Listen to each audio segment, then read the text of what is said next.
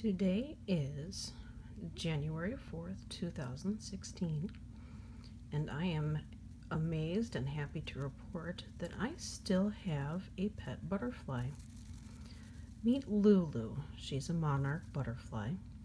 She eclosed, which is the technical term for emerging from her chrysalis, back on September 10th and so she when she eclosed, she actually uh, damaged her wings a little bit so they were just slightly crooked and so she wasn't able to fly and therefore was not able to migrate down to Mexico so I kept her as a pet and she has been living very much as she would if she had flown all the way to Mexico on her migration I'm actually all the way up in southeast Michigan.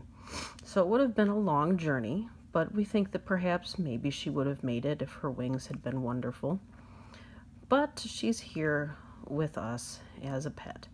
So what I've been doing is maintaining her living conditions to be similar to what she would be experiencing down in Mexico. I do limit her light exposure.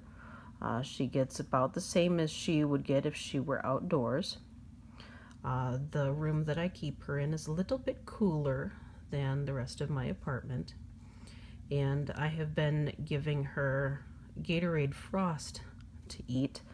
Uh, she eats anywhere from 0.05 cc's to 0.01 cc's.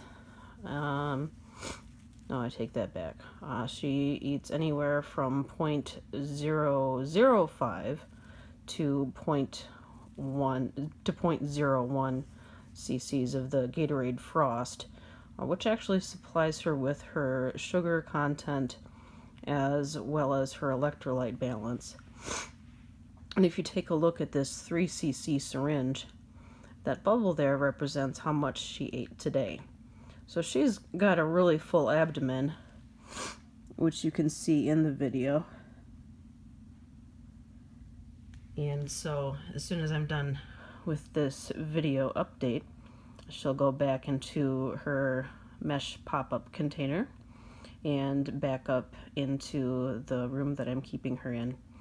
Her wings are actually in pretty good shape considering how long she's been a butterfly.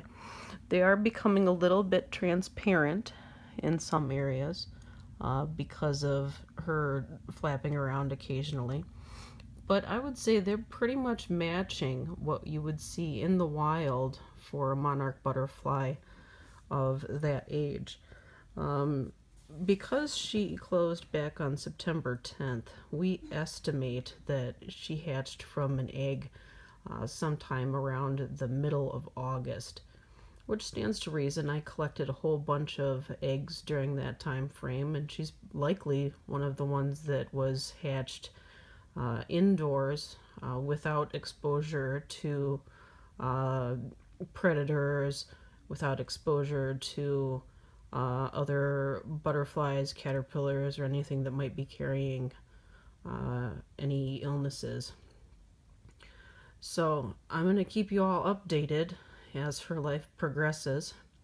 I hope that you've enjoyed this little video, this little piece of summer uh, still lingering with us here in January.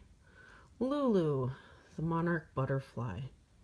Thank you so very much, and may your 2006 be amazing.